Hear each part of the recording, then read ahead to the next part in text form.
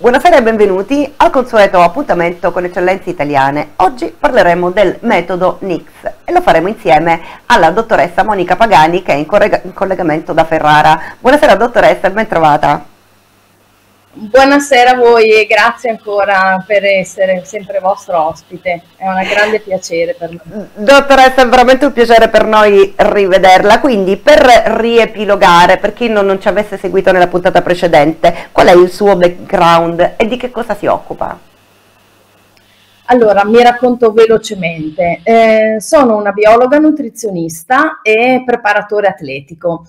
Mi occupo di prevenzione e benessere attraverso la nutrizione, l'epigenetica, lo sport e la neuroplasticità.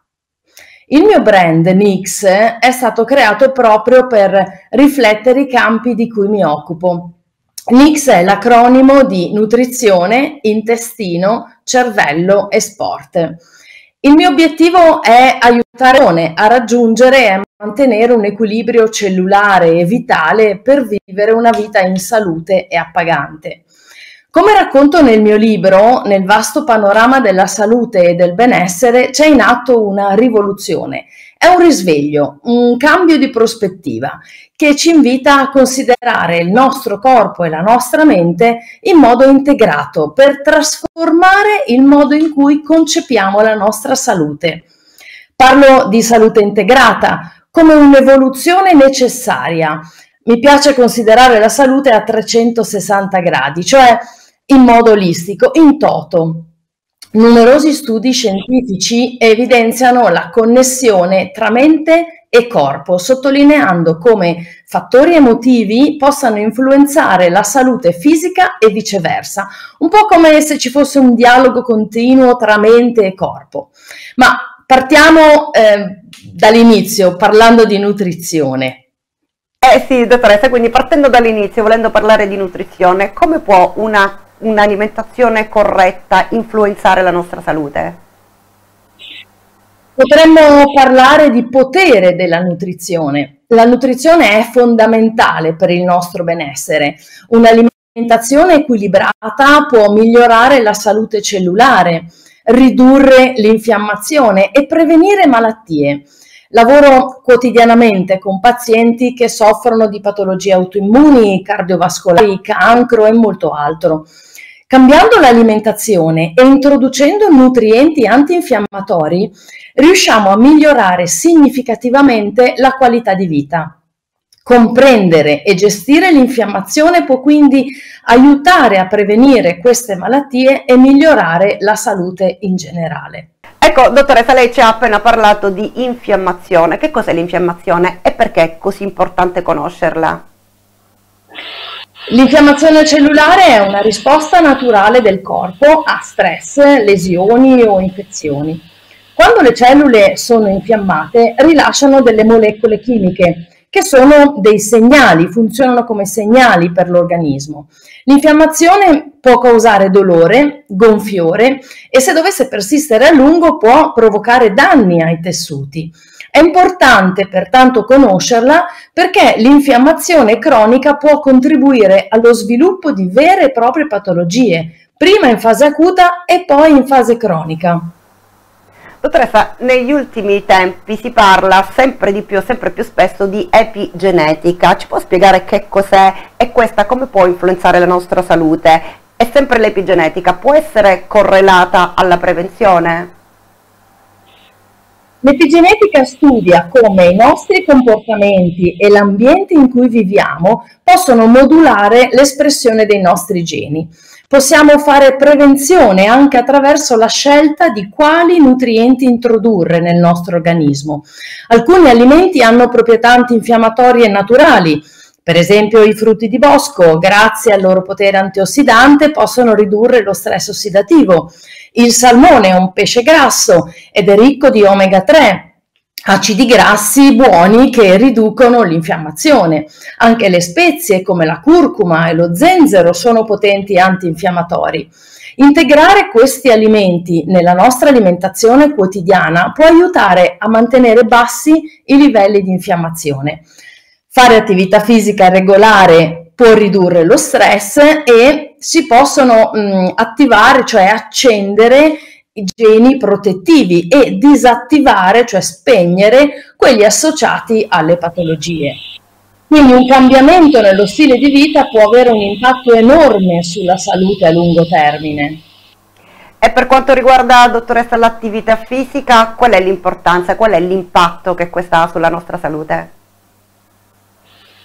L'attività fisica non è solo essenziale per il corpo, ma anche per la mente. Aiuta a ridurre lo stress, migliora l'umore e aumenta l'energia. Il ruolo dello sport diventa cruciale. L'attività fisica regolare e costante aiuta a ridurre l'infiammazione in diversi modi. Prima di tutto migliora la circolazione sanguigna, il che aiuta a rimuovere i prodotti di scarto dalle cellule, le scorie metaboliche.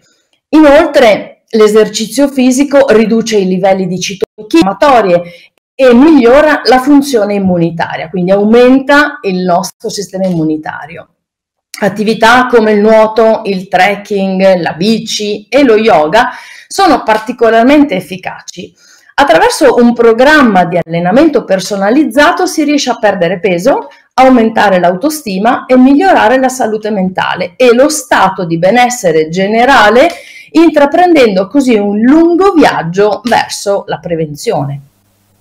Dottoressa, ci può per favore spiegare che cos'è la neuroplasticità e in che modo la meditazione può aiutarci in un percorso proprio di prevenzione?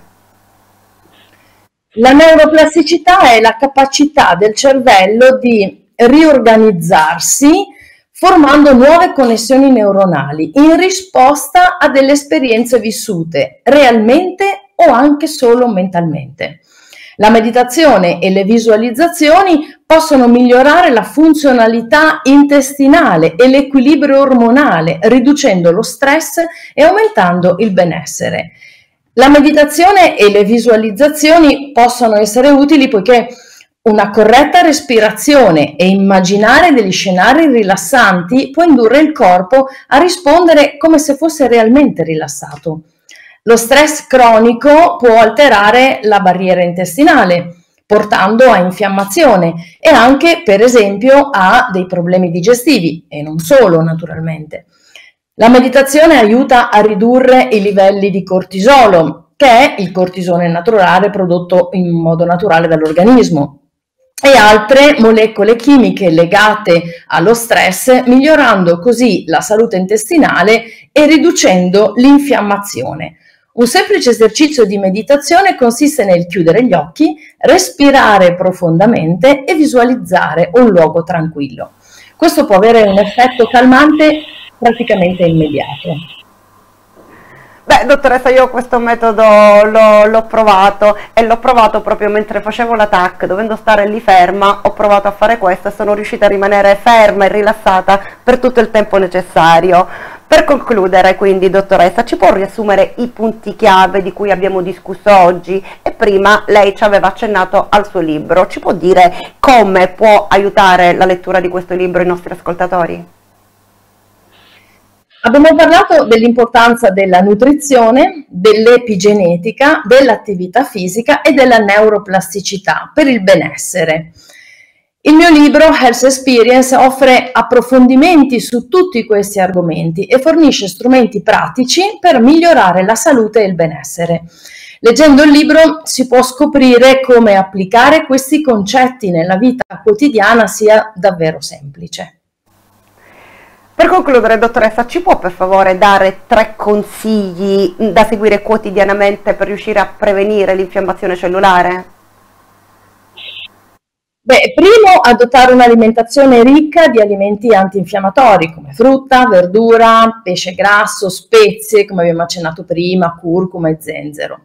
Secondo, praticare attività fisica in modo regolare, come anche solo camminare o andare in bici o fare una qualunque altra attività cardio per almeno 20-30 minuti al giorno. Terzo, incorporare delle pratiche di gestione dello stress nella propria routine quotidiana come la meditazione, la respirazione profonda o le visualizzazioni.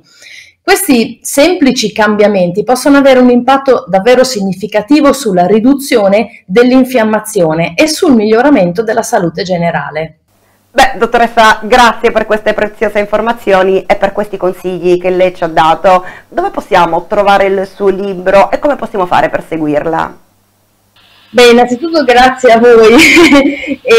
il, il, mio libro Health Experience è disponibile online e ehm, per leggere di ulteriori consigli su nutrizione, benessere e sport potete seguirmi sui social media, Instagram e YouTube.